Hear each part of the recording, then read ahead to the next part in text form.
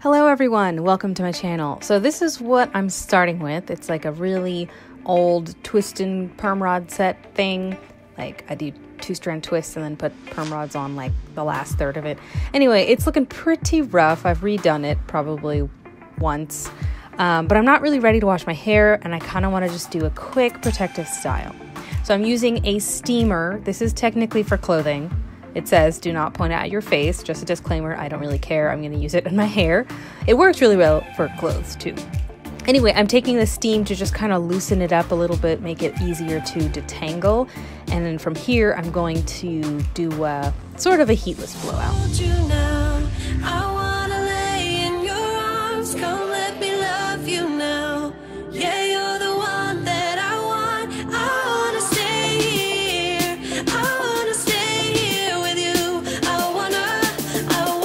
So it's looking a little crazy.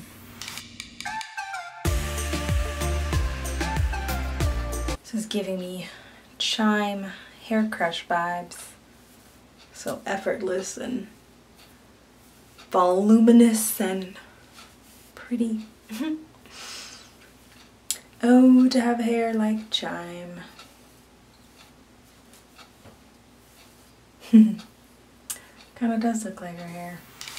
Yeah, I kind of like Chime's hair and I feel like it looks a little bit like this, but hers is way prettier than mine.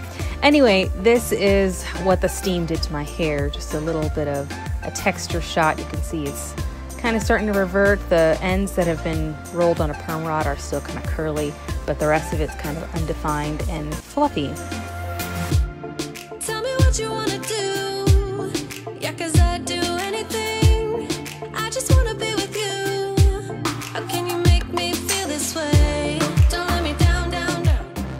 So I'm trying to do like a, a side part down, sort of down the middle, and I'm just using my fingers.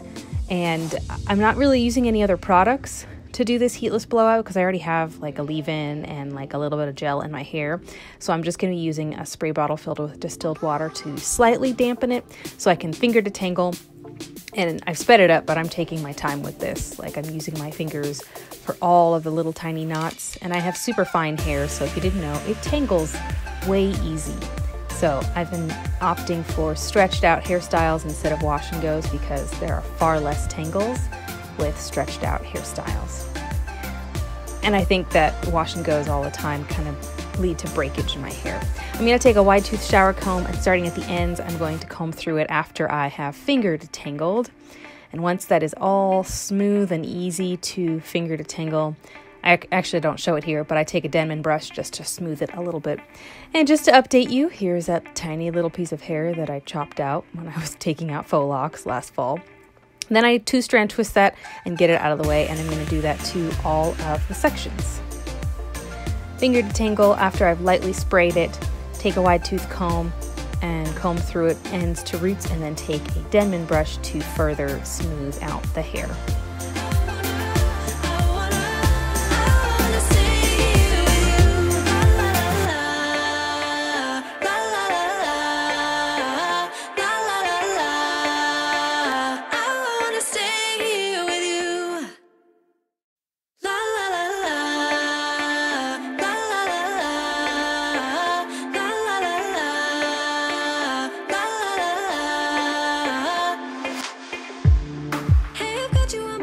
Once I'm finally done, I think I have nine twists, and then I just slept on it on a satin pillowcase. The next day, I'm going to take some jojoba oil, which is my all time favorite oil for everything, taking down styles, massaging into my scalp. I just rub that on my hands, and then I'm going to um, undo the twists. I think for some reason I was thinking I was doing a twist out, but it's not a twist out, it's just a heatless blowout which is why I'm I look like I'm uh, separating it for a twist out, but there's absolutely no hold because it was just water. So I I think halfway through I realized, oh, that's right, I'm not doing a twist out because there's no def there's no hold in this at all. And I mean, it's kind of cute, but it wouldn't last more than like five minutes. So I'm just gonna take a pick. You'll see me take a pick at one point and pick through my hair like I'm going to wear it as a twist out. But just running the pick through a little bit ruined the definition, and I was like, oh, that's right. There's nothing in this to hold my hair. It's still cute, but I, eventually I figured it out and continued to take the comb all the way through the end. See, it's looking kind of crazy. Like it's not really a real twist out because it's there's no hold.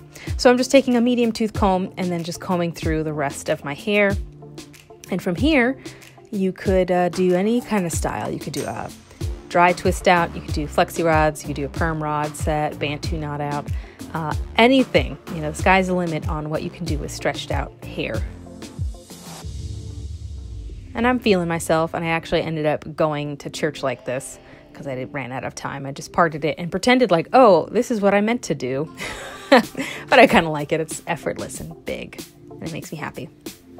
Um, so after a little later that day, I pushed it all back, and I noticed my hair is growing in this weird triangle, and there's like a awkward hole in the middle. Like I can't believe been walking around all day with my hair looking whack like this. So pretty sure it's time for a haircut. Anyway, what I'm going to be doing is just a flat twist down the back with a little hanging bantu knot. I did not come up with a hanging bantu knot at the end of a twist. That is something I learned from Yolanda Renee. Um, she's got an excellent channel. They do lots of vlogs, and she does the hanging bantu knot technique. So definitely check out her video if you want to know exactly what I'm talking about. But I just comb through the hair um, with that same comb just to make sure there are no knots, and then I'm just flat twisting all the way down and I think I twisted the sides differently. I don't know. They, they look different, but this is a protective style. It doesn't really matter what the ends look like. So that's me doing the little hanging bantu knot that Yolanda does on her video. Um, and then afterwards, I noticed my twists are not the same length. Again, pretty sure it's time for a haircut or shape up or whatever, but it doesn't really matter. We're, we're not going to see it. So then I just take a hair tie and then I'm going to roll those two towards each other and then just like I'm doing a low ponytail, I'm going to take that hair tie and then loop it around three times. It's kind of loose. This hair tie is probably on its last leg, but I love it when they're this loose. From there, I'm just going to twist the two twist. Oh, sorry. We're going to do our edges. I'm not an edge person, but they were looking a little fuzzy. And this is just Murray's edge wax. It's like beeswax or something. I don't know. I was trying to make it look fancy, you guys. I'm you don't have to do this step. And that's why I kind of forgot. Anyway, back to the updo. I'm taking the two twists and twisting them together loosely, just in like a haphazard fa- fashion. It's not really very specific and taking a pin and tucking the ends under and then if you want another pin to keep it more secure you just put that at the top but that's it super super quick uh, you can wear this as an updo you can add some hair jewels to it anything and everything your heart desires but that way your hair is protected and it's still really cute. And uh, you can work out like this and your edges will probably be the only thing you need to refresh.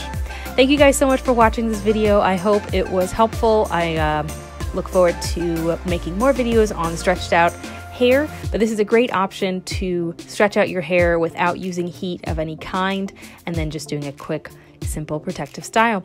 Thanks guys for watching. Be sure to like, comment, and subscribe to my channel. And until next time, bye.